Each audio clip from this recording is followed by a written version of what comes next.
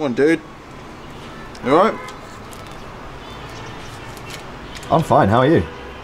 Yeah, alright. A little bit sore, but I'll be okay. I'm a big boy. Just gotta keep the shit kind of relatively clean. You know what I mean? Um, but, ah, it works. Got a 75 mile ride, less than that, 72 mile ride, because we cut a little bit off yesterday. I'm hoping it's going to be quite nice because it's basically all, all along the beach. But as we were saying yesterday, Vietnam's beaches aren't that great, are they? but yeah, 70 miles off the main roads, nice and flat. And then we got quiet day tomorrow as well, so I think it's less than 50 miles tomorrow, which will be badass. So I think we're going to do some laundry tonight. Uh, and then it gets quite hard.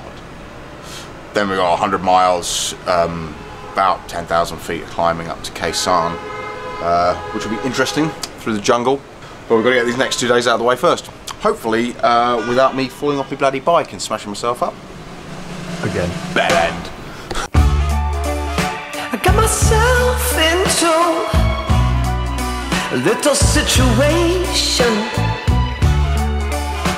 And I can't, no, I can't, no, I can't seem to get away from it.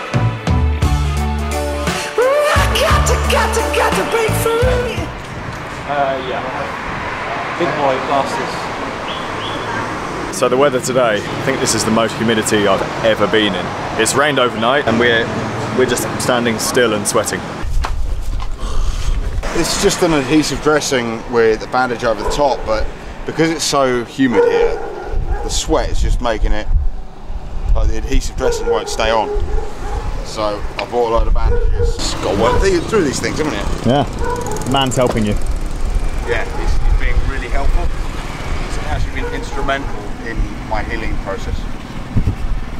So today's route was originally a little bit shorter, but on main roads. We've uh, tinkered with it, made it slightly longer, but we're taking these back roads, kind of hugging the coast instead. It's just so much less stress, and uh, considering we're feeling a little bit run down, we thought it would be an idea just to tap it out slowly today. Use as little energy as possible, 40 miles tomorrow, and then we got the big day, so we should be able to recover in time. It's still unbelievably humid. James was just saying he's lived in the tropics and never experienced humidity like this. You're just soaked. 20 miles done, crack up. I'm gonna lose my mind, might not make it out this time.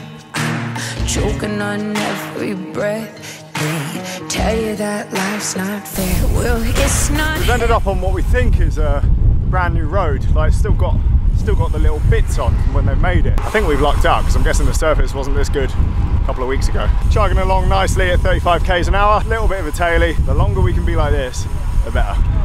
Yeah, we can get back on again though.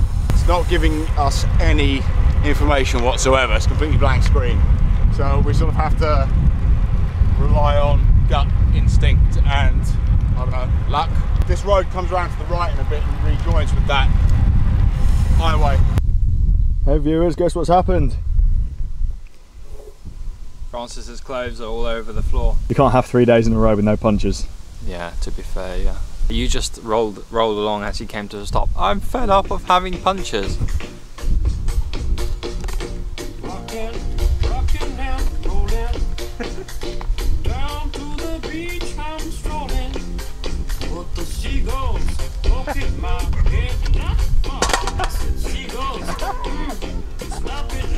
Oh my god, he's gone crazy. What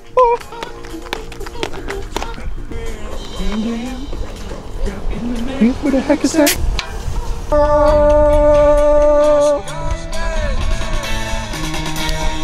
Karaoke bar? I think that's where we are.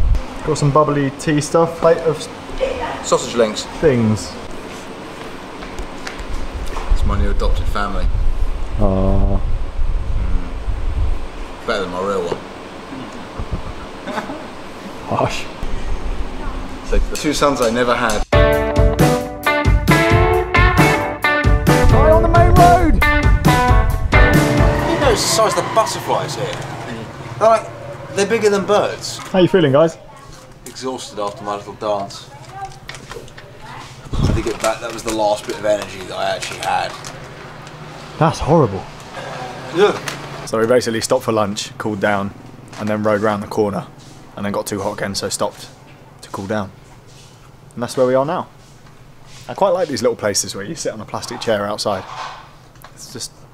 It's just nice and chill. And the people who run them are always really friendly as well. They're always very surprised to see us, probably because we're in the middle of nowhere. You got a shot of me from that angle somewhere else, haven't you? Sitting in a very similar fashion. What is this on the Kelsometer? It's not, you know what? It's not that hard. It's, the, the ride's been a piece of piss. It's just the, just the And the humidity. It's just sapping. Ice Nice. in your hat. Actually, good. This makes me feel very good. I am so cool. No, you're not. Not in the traditional sense. it's really quite remarkable, isn't it? I wish I could just fall asleep like that.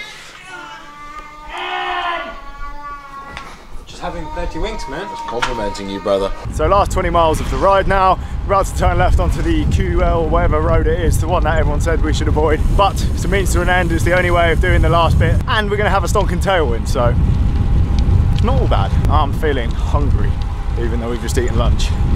It's like tiny portions, tiny. Tiny portions. They are tiny. Doesn't fill you up though either, does it? No, because it's just water. At least we'll go home lean. Kind of. Or sick.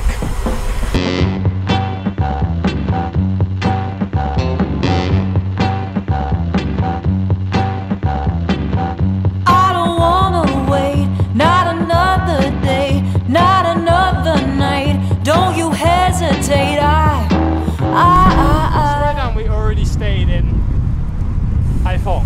Maybe there's two. There must be two. It's only 10k away. That's how far we're going. It's like there's two Kingstons. One in Jamaica. No, isn't there a Kingston in Hull? Oh yeah, you're right. Yeah. Just rolling into town now. We average over 28k an hour. That's mega. That's impressive. Like considering not a lot of climbing, but you know these bikes are heavy. That's a big hotel. It wouldn't be Project Vietnam without an unnecessarily big hotel with no people in it. In the middle of nowhere. We're the only customers. This place must be what, 500 rooms? But the lobby. It's Christmas in this hotel. It's New Year in this hotel. Our favourite part of the day. Every fucking day. Every day. Trying to get our bikes into the room. And they they genuinely don't care about they don't care about anything that you would think. They're just they're more worried about us not having the space. Yeah. It's bizarre. As soon as you say as soon as you show them a translation of I don't care about the space, all of a sudden they're like, oh, okay, fine. That is not a bad view. Shame. Shame about whatever that is. Paint all over the windows. Oh, there's our swimming pool, which we're not going to use. And there's our tennis courts, which we're not going to use. And there's our football pitch that we're not going to use. I don't know what that is. I don't really care what we eat, as long as it's moderately edible. Unlike lunch. Lunch was shit. No, it's not a party. You're the king. Oh. This was a side, but they've brought it as a main. I love octopus. Just not with the brains and the head and the eyes in Just it. not with the eyes. Right, tomorrow, easy day.